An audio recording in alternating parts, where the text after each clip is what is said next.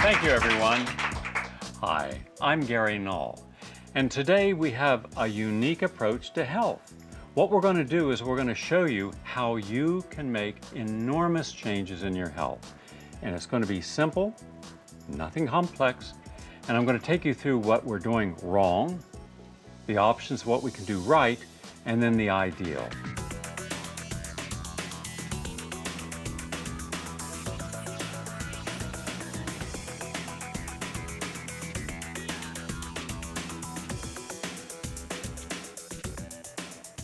We're going to make it simple. 15 foods that will change your life for the better. And then I'm going to show you how to make those foods delicious, nutritious, in fact, gourmet. You heard me right. You don't have to be a chef because we have brought in master chefs. We're going to see how they do it, and they're going to teach you how to make this this easy. Let's begin. First of all, we have an epidemic of disease in this country. We're going to spend $2.3 trillion this year on disease. And unfortunately, after the war on cancer, the war on AIDS, the war on heart disease, the war on depression and diabetes and obesity, we have a medical Vietnam. We are not reversing in any major way any of those conditions. To the contrary, our lifestyle is contributing. There's no mystery about what causes illness.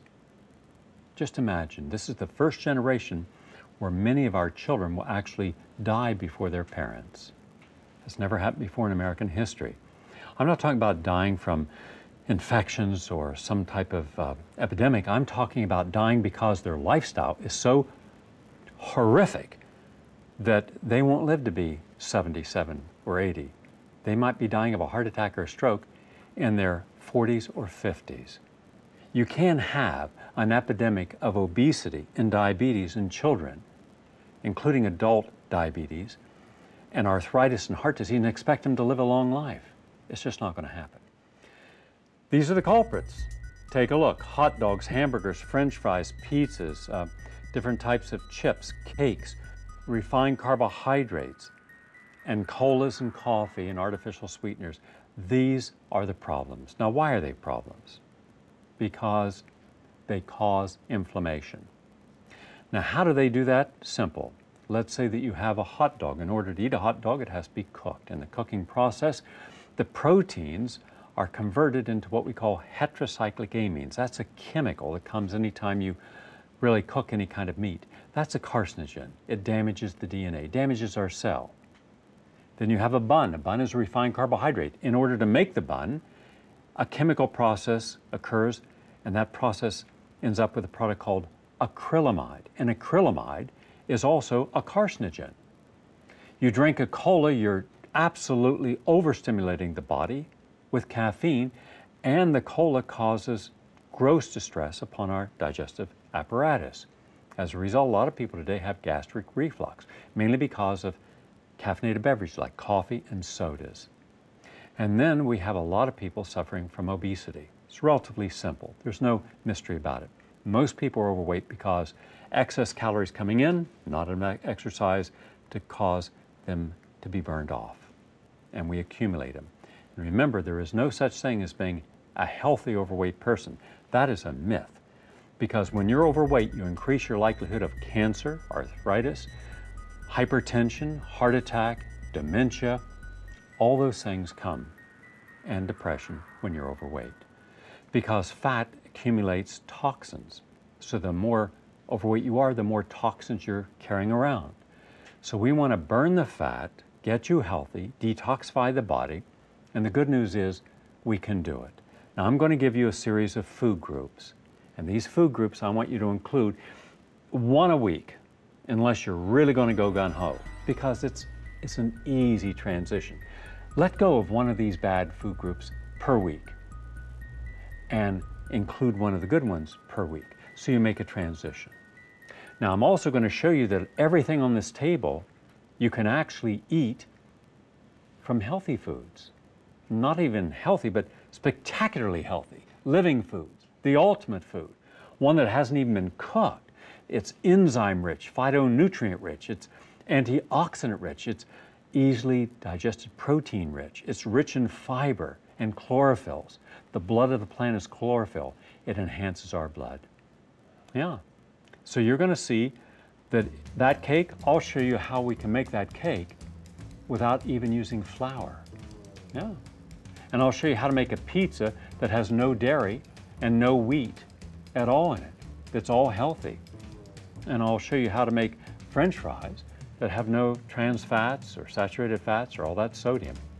So it's not as if you have to deprive yourself of something that you really like, it's you have to be of a mind to make a transition from something that's not healthy, causes disease, and there's no, look, there's no longer a mystery. And by the way, don't for a second allow anyone in Congress or any, the Surgeon General or anyone else say, oh, we're not certain. Yeah, they're not certain. Whose payroll are they on? Who have they been influenced by? There's absolute certainty none of this stuff is good for you. It's all bad for you. What they don't know is at what day you're going to wake up and have a heart attack or stroke or your joints are going to be stiff or inflammation or fibromyalgia or macular degeneration because of the free radicals because everything here causes free radicals and free radicals are what attack the cell. Now you have anywhere from 64 trillion to 100 trillion cells. That's a lot of cells. One glass of alcohol can destroy a million brain cells, heart cells, liver, and kidney cells. Could you imagine if your skin were transparent so you could actually see right into the body? So everything you consumed, you could actually see what it does. What a difference would be our approach. I've traveled all over the world. I've met wonderful cultures. And in every culture, they have ways of helping people prevent illness or to get well naturally. And I've included those in the foods I'm going to show you. So we're going to shift our attention from this that causes disease. And by the way, don't ever, ever in your lifetime, even if you're five years old, don't ever expect the government to be honest and tell you this causes disease. You're dealing with billion dollar industries, and they're not going to give up for a second trying to sell you something that the only outcome is going to be sickness. And they're supported by Wall Street, they buy the scientist, and therefore, when a scientist then says, oh, we need more studies, no, the tobacco industry played that game for 100 years. Oh, we need another study. We had 100,000 studies showing cigarette smoking was bad for us. Didn't stop them from trying to convince us to keep smoking. And I'm saying this is no better than cigarette smoking. All right? But this is, here's the good news. Let's shift to the good news. Now, in front of me are 15 different types of foods. And each one of these plays a different role. And the key is the more variety you have in your diet each day, either eating it or juicing it, the healthier you're going to be. People say, where am I going to get my protein? All right, I grew up in a small town in West Virginia where everyone thought you had to have meat three times a day. So it was absolutely common for people to have three or four eggs, sausage or ham for breakfast. They'd have a grilled cheese sandwich or something for lunch, and they'd have big roast beef or two inch thick uh, cut of of meat with big fat around it. For dinner, vegetables were an afterthought. Fruit was only occasional. And then we wonder why nobody ever got younger when they got older, and no one ever looked or was healthier the older they got. And we expected people to have diabetes and be overweight. It was just accepted. But it was because we weren't eating these. I don't remember in my life ever eating black beans. I didn't even see them. Or black eyed peas, or green lentils and yellow lentils and split peas and uh, kidney beans. Nobody had this stuff, not where I grew up. And this is why all the people I grew up with in my family are dead.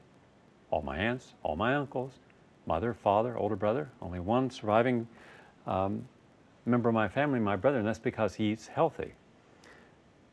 Now, when you eat beans, and there are over 65 variety of beans, which means you have enormous amount of, of options of how you want to make these.